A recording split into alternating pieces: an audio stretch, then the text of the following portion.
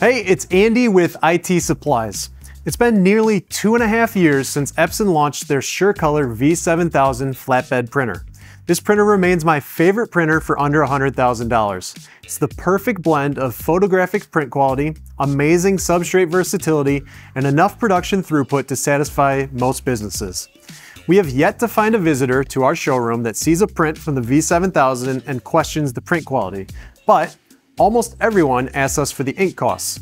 Today, we're going to print three files on three popular substrates and we're going to break down the specific ink costs. Stay tuned.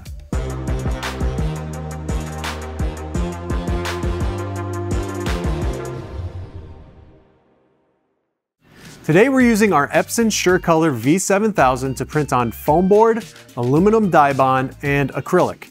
These are three of the most common substrates our customers ask about and want to see printed.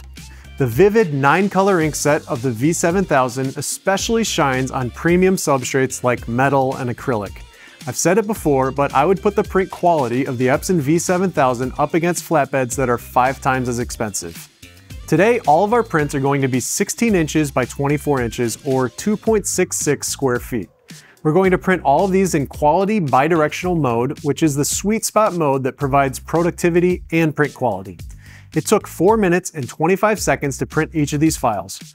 Remember that the staggered head design for the white ink channel means that you don't sacrifice any print speed when switching between color only prints or color and white prints. We're using Epson's Cloud Solution Port software to give us actual ink usage per job for these prints. If you have a V7000 and need help getting this set up, please reach out to us and we can help you get this reporting set up. Okay, our first print here is on white foam board. We picked a 100% ink coverage, dark, heavy density file. This is possibly the most ink you could lay down on a substrate.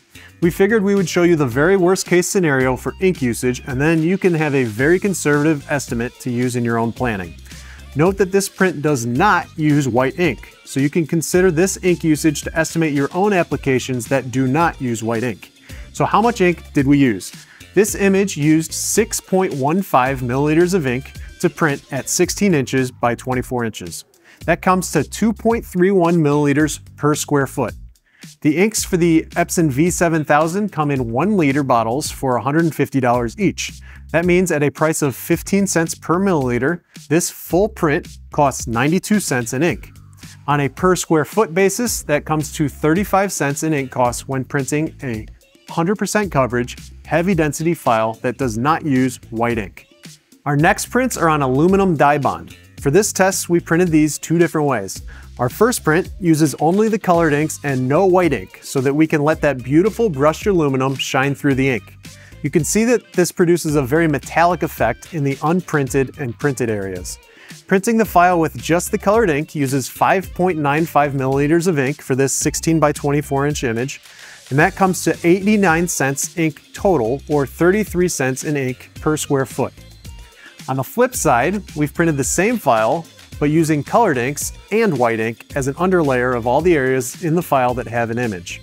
That means that underneath all of the colored ink areas, there is an additional layer of white ink printed below it. This helps to block out the metallic shine from the ink areas and provides more contrast to the unprinted areas where the raw aluminum shines through. You'll also see that in the clouds and paint splatters, the white ink is also used without any color ink over the top. So how much ink does a file like this use? In this case, the colored ink usage is exactly the same as our first print because we haven't changed the color, colored ink being used. So again, it is 5.95 milliliters of colored inks. But now we've introduced white ink on this print. So we've used 5.29 milliliters of white ink as an underflood. So altogether, we used 11.24 milliliters of ink for a total ink cost of $1.69 for the 16 by 24 image or 63 cents per square foot. If you're using white ink in portions of your file, then this is an ink estimate that you can reference. Our final ink usage test is on acrylic. For this test, we've printed with a full white underflood. That means that the entirety of the image has white ink laid below it. This is the most common white ink, white ink method for acrylic prints as otherwise you would see through the transparency and through to the surface of the wall or wherever this print is mounted. We picked this file because it shows the vivid red ink that is on the Epson SureColor V7000. For this file, we used 7.6 milliliters of colored inks and 6.94 milliliters of white ink for a total of 14.54 milliliters of ink. This 16 by 24 inch print costs $2.18 in ink total, or 82 cents per square foot. This is a good baseline estimate for acrylic or transparent second service prints that use heavy ink coverage and a full white ink underflood. So there you have it. These are a few of the common substrate and image scenarios that we see with the Epson V7000 and the amount of ink that each one used.